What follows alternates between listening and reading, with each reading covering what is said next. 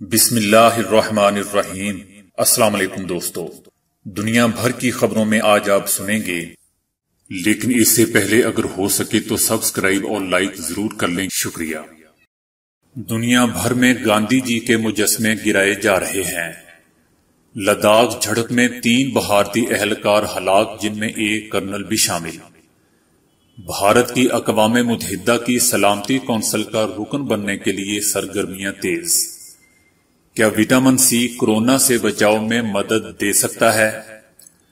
Corona کے بغیر علامات والے مریضوں کے بارے میں اہم انکشافات۔ انڈیا میں پندرہ سو روپے کے لیے سو سالہ بوڑھی خاتون کو چار پائی پر ڈال کر بینک لانا پڑا۔ مینیجر معطل۔ آسٹریلیا کی سڑکیں پاکستانی کھلاڑیوں کے نام سے منسوب ہو گئی وزیر اعظم عمران خان اور وزیر قانون کو توہین عدالت کا نوٹس۔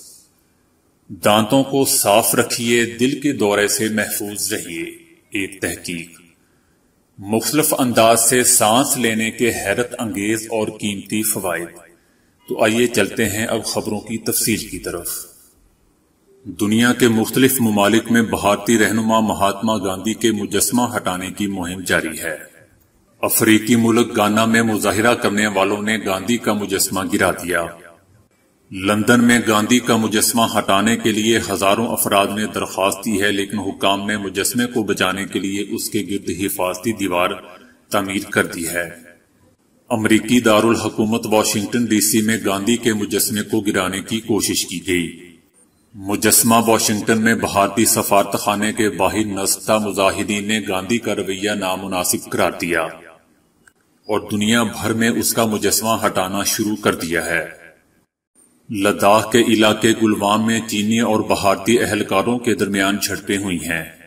بھارتی میڈیا کے مطابق چینی اہلکاروں نے بھارت کے تین اہلکار مار ڈالے ہیں، ہلاک ہونے والوں میں ایک کرنل رینک کا آفیسر بھی شامل تھا۔ چینی اہلکاروں نے بغیر کوئی اسلحہ استعمال کیے بھارت کے تین اہلکار ہلاک کر دیے، جن میں ایک کرنل رینک کا آفیسر بھی شامل تھا۔ چائنا کا کہنا ہے کہ بھارت مسلسل سرحد کی خلاف ورزی کر رہا ہے۔ پیر کو بھارت نے دو بار سرحد کی سنگین خلاف ورزی کی۔ بھارتی اہلکاروں نے چائنیز اہلکاروں پر حملے بھی کیے۔ بھارت نے اقوام متحدہ کی سلامتی کونسل کا غیر مستقل رکن بننے کے لیے سرگرمیاں تیز کر دی ہیں۔ مودی سرکار نے سیکیورٹی کونسل کے غیر مستقل رکن بننے کے لیے جوڑ توڑ شروع کر دیا ہے۔ اقوام متحدہ کی سلامتی کونسل کی رکنیت کے لیے بھارتی لابنگ نے عالمی ضمیر اور انصاف پر سوالات اٹھا دیے ہیں۔ مقبوضہ وادی میں تاریخ کا بدترین لاک ڈاؤن متنازع شہریت بل ایل او سی پر سیز فائر کی خلاف ورزیاں اور چائنا نیپال سمیت دیگر پڑوسیوں کے ساتھ سرحدی تنازعات کے باوجود بھارت کو رکنیت سے نوازنا عالمی قوانین اور انصاف پر کاری ضرب ہوگا۔ انسانی حقوق کی تنظیمیں پوچھ رہی ہیں کہ ان سب کو کیا نظر انداز کر دیا جائے گا۔ ایسے میں بھارت کیسے اس عالمی اعزاز کا حقدار ہے؟ دنیا بھر میں کرونا عام ہونے کے بعد سے سوشل میڈیا پر اس سے بچاؤ کے لیے طبی مشورے خاص کر سپلیمنٹس کا استعمال مفید قرار دیا جا رہا ہے۔ ایسے میں وٹامن سی کو کرونا سے بچانے کے لیے اہم قرار دیا جا رہا ہے۔ دنیا بھر میں وٹامن سی کے ہائی ڈوز انجیکشن کے ذریعے کرونا سے بچاؤ پر تحقیق جاری ہے۔ تاہم حتمی نتائج سامنے نہیں آئے ہیں۔ خواتین میں روزانہ وٹامن سی پچہتر ملی گرام جبکہ مردوں میں نوے ملی گرام کی مقدار کی ضرورت ہوتی ہے۔ وٹامن سی اہم غذائی جز ہے جو مدافعتی نظام کو درست طریقے سے کام کرنے میں مدد دیتا ہے، طبی ماہرین مشورہ دیتے ہیں۔ کہ وٹامن سی سپلیمنٹ سے حاصل کرنے کی بجائے غذا سے حاصل کرنا زیادہ بہتر ہے۔ یعنی اسے سبزیوں اور پھلوں کے ذریعے جسم میں پہنچانا زیادہ بہتر ہے۔ وٹامن سی ایک طاقتور اینٹی آکسیڈنٹ ہے جو آپ کے جسم کے قدرتی دفاعی نظام کو مضبوط بنا سکتا ہے۔ موسمی نزلہ زکام کے باعث بننے والے کرونا پر وٹامن سی کے اثرات پر ہونے والی تحقیقی رپورٹ سے معلوم ہوا ہے۔ کہ اسے نزلہ زکام سے بچنے کا خطرہ بہت زیادہ کم نہیں ہوتا، مگر یہ ممکنہ طور پر جلد صحت یاب ہونے اور علامات کی شدت میں کمی میں مدد دے سکتا ہے۔ تحقیق میں یہ بات سامنے آئی تھی کہ وٹامن سی نظام تنفس کی دیگر بیماریوں میں پھیپڑوں پر ہونے والے ورم میں کمی لانے میں مددگار ثابت ہوتا ہے۔ جاپانی ماہرین نے ایک تحقیق میں کرونا سے متاثر ہونے والے ایسے افراد کا ڈیٹا دیکھا ہے جس میں کرونا کی نشاندہی ہوئی مگر علامات ظاہر نہیں ہوئی تھی۔ اور صرف گیارہ افراد میں بعد میں جا کر علامات دیکھنے میں آئیں۔ اس نئی تحقیق کے نتائج طبی magazine New England Journal of Medicine میں شائع ہوئے اور ماہرین کا کہنا تھا کہ بغیر علامات والے مریضوں کی اکثریت میں بیماری کے دوران نشانیاں نظر نہیں آتی۔ نتائج میں بتایا گیا کہ ایسے لگ بھگ پچاس فیصد افراد میں کورونا نو دن کے اندر کلیئر ہو جاتا ہے۔ جبکہ نوے فیصد مریض پندرہ دن میں صحت یاب ہو جاتے ہیں، تحقیق میں یہ بھی دریافت کیا گیا کہ بیشتر مریضوں کا ابتدائی نشاندہی کے بعد پانچ دن میں صحت یابی کا امکان نہ ہونے کے برابر ہوتا ہے۔ جاپانی ماہرین نے تخمینہ لگایا کہ ایسے ماحول میں جہاں کرونا آسانی سے پھیل سکتا ہو، وہاں بغیر علامات مریضوں کی تعداد ممکنہ طور پر علامات والے افراد کے برابر ہو سکتی ہے۔ انہوں نے بتایا کہ نتائج سے ثابت ہوتا ہے کہ تشخیص کے بعد بار بار ٹیسٹ کرنا بے معنی ہے، کیونکہ نتائج ایک ہی جیسے رہتے ہیں۔ انڈیا میں ایک بینک سے رقم نکالنے کے لیے ایک ساٹھ سالہ خاتون کو اپنی سو سالہ ماں کو چار پائی پر ڈال کر لانا پڑا۔ یہ واقعہ مشرقی ساحلی ریاست اڑیسہ میں پیش آیا۔ اس واقعہ کی ویڈیو وائرل ہونے کے بعد بینک نے افسوس کا اظہار کیا ہے اور واقعے کی تحقیقات مکمل ہونے تک برانچ کے مینیجر کو معطل کر دیا ہے۔ دراصل انڈیا کے وزیر اعظم نریندر مودی کی جانب سے جاری کردہ اسکیم کے تحت اڑیسہ کے گاؤں کی سو سالہ رہائشی کے کھاتے میں کرونا کے زمانے میں انتہائی غریبوں کی امداد کے لیے دیے جانے والے اپریل سے جون کے پانچ سو روپے کے ماہانہ کے حساب سے تین ماہ کے پندرہ سو روپے آئے تھے۔ یہ پیسے وزیر اعظم کے غریبوں کی فلاحی اسکیم کے تحت جاری کیے گئے تھے۔ جب ان کی ساٹھ سالہ بیٹی پیسہ لینے برانچ پہنچی تو بینک مینیجر اجیت کمار نے کہا کہ پیسہ لینے والے کا فزیکلی ویریفیکیشن ہوگا۔ اس کا مطلب ہے کہ جن کا بینک کھاتا ہے انہیں جسمانی طور پر وہاں ہونا ہوگا۔ اس کے دوسرے دن یعنی دس جون کو بیٹی نے ناچار اپنی والدہ کو چار پائی پر لٹا کر گسیٹتے ہوئے وقت سے پہلے ہی بینک پہنچ گئی۔ بینک والوں کے مطابق وہ اس بات پر حیرت زیادہ ہوئے اور انہوں نے پیسے دے دیے۔ اس واقعے کی ویڈیو منظر عام پر آنے کے بعد بینک اور مینیجر پر سخت تنقید کی گئی، جس کے بعد ریاستی حکومت نے اس کا نوٹس لیا۔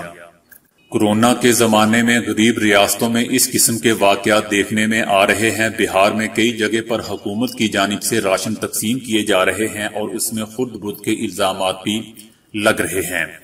اور اسی سلسلے میں مظفر پور ضلع میں نصف درجن سے زیادہ لوگ جیل بھی جا چکے ہیں۔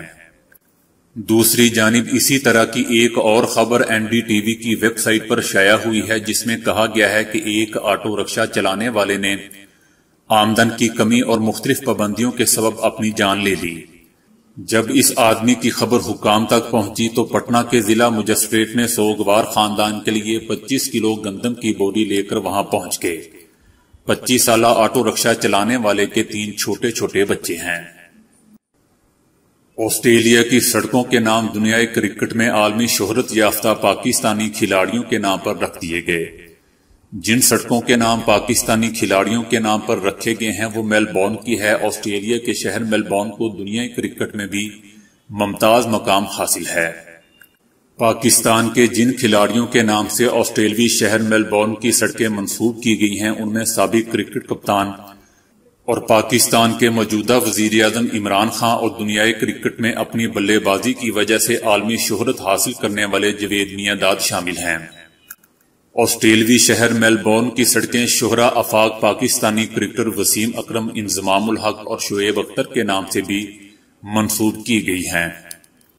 آسٹریلیا کے ہائی کمشنر ڈاکٹر جوفری نے کہا ہے کہ یہ پاکستان اور آسٹریلیا کے دوستانہ تعلقات اور کھیل کے ذریعے جڑے رہنے کی طاقت کی نشانی ہے پشاور ہائی کورٹ نے جنرل پرویز مشرف کیس میں خصوصی عدالت کے جج اور پشاور ہائی کورٹ کے چیف جسٹس وقار احمد سیٹھ کے خلاف نازیبہ الفاظ کا استعمال کرنے پر توہین عدالت کے نوٹسز جاری کیے ہیں۔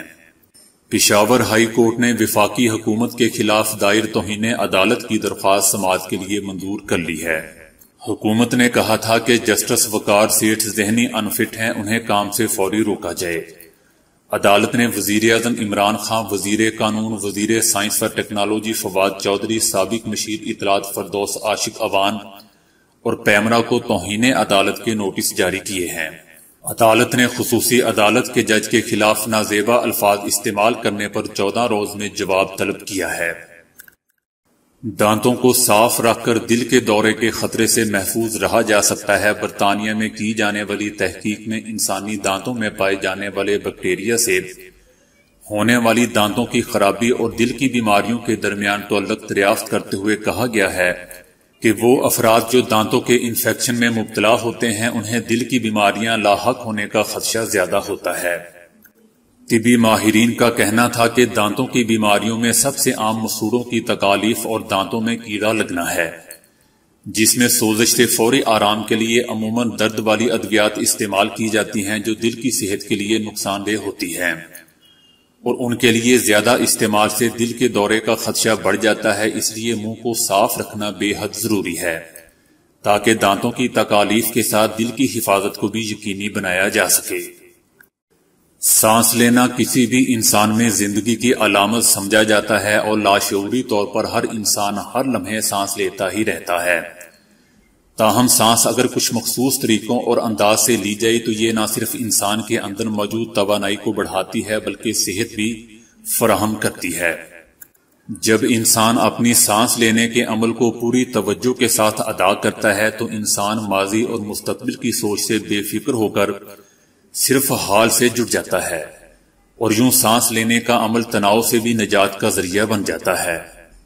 ہماری توانائی کا بڑا ذریعہ سانس لینے میں پوشیدہ ہے، اس لیے جتنا سانس بھرپور اور گہرا ہوگا، اتنی ہی توانائی آپ کو ملے گی۔ گہری سانس لینے سے آکسیجن زیادہ مقدار میں جسم کو ملتی ہے، جو توانائی کا لیول بڑھا دیتی ہے۔ جب انسان غصے یا ناراضگی کی کیفیت میں ہو، تو اکثر تیز اور چھوٹی سانسیں لینی چاہیے۔ لیکن اگر اس دوران آپ چھوٹی اور گہری سانس لیں گے تو جسم تیزی سے نارمل ہونے لگتا ہے اور غصے کی شدت میں بھی کمی ہوتی ہے۔ تحقیق میں یہ بات ثابت ہو چکی ہے کہ جب انسانی جسم میں کسی وجہ سے تکلیف ہو تو وہ سانس کو روک لے یا پھر گہری سانس لے تو تکلیف کم ہونے لگتی ہے۔ ڈاکٹرز کا کہنا ہے کہ گہری اور لمبی سانس درد کو مارنے والے اینڈروفن کا اخراج کرتی ہے، جو تکلیف کو بہت ہی کم کر دیتا ہے۔ اگر آپ کا وزن کم ہے تو زیادہ آکسیجن آپ کے جسم میں موجود وزن بڑھانے والے سیلز اور ٹیشوز کو طاقت دیتی ہے۔ اور اگر آپ کا وزن زیادتی کا شکار ہے تو سانس لینے کا عمل جسم میں موجود آکسیجن اضافی چکنائی کو جلانے میں مددگار ہوتا ہے۔ اسی طرح ذہنی تناؤ میں گہری سانس تناؤ کا باعث بننے والے گلائی کوجن کو ختم کرتی ہے اور جسم کو حالت سکون میں لاتی ہے۔ یوگا میں عام طور پر سانس لینے اور خارج کرنے کے تسلسل اور آگاہی پر توجہ دی جاتی ہے، جس سے انسانی ذہن ایک خاص نقطے پر مرکوز رہتا ہے۔ سانس لینے کا ایک بہترین انداز ایک منٹ میں پانچ بار سانس لینا ہے یعنی سانس کا اندر کی جانب کھینچنا اور اخراج کرنا ہے۔ یہ عمل دل کو توانائی فراہم کرتا ہے۔ اس انداز سے سانس لینے کا عمل ایچ آر وی کو بڑھاتا ہے، جو اس بات سے آگاہ کرتا ہے کہ نروس سسٹم کس طرح کام کرتا ہے۔ اس لیے کہا جاتا ہے کہ زیادہ ایچ آر وی انسانی دل کے نظام کو مضبوط بناتا ہے۔ کیونکہ اکثر جب آپ کسی اہم میٹنگ میں شریک ہونے جا رہے ہوں تو کچھ نروس ہو جاتے ہیں، ایسے میں پورے شعور کے ساتھ کچھ دیر تک سانس لینے سے جسم نارمل ہو جاتا ہے۔ اور آنے والے حالات کے بارے میں سوچنے کی بجائے موجودہ صورتحال پر توجہ مرکوز ہو جاتی ہے۔ جسم میں موجود ستر فیصد فاضل مادے پھیپڑوں کے ذریعے خارج ہوتے ہیں۔ جب سانس کا عمل متاثر ہوتا ہے، تو وہ پھیپڑوں کی کارکردگی اور خون کے بہاؤ کو متاثر کرتا ہے۔ تو دوستو، آج کے لیے اتنا ہی۔ ویڈیو کو لائک اور شیئر کرنے کا بہت بہت شکریہ۔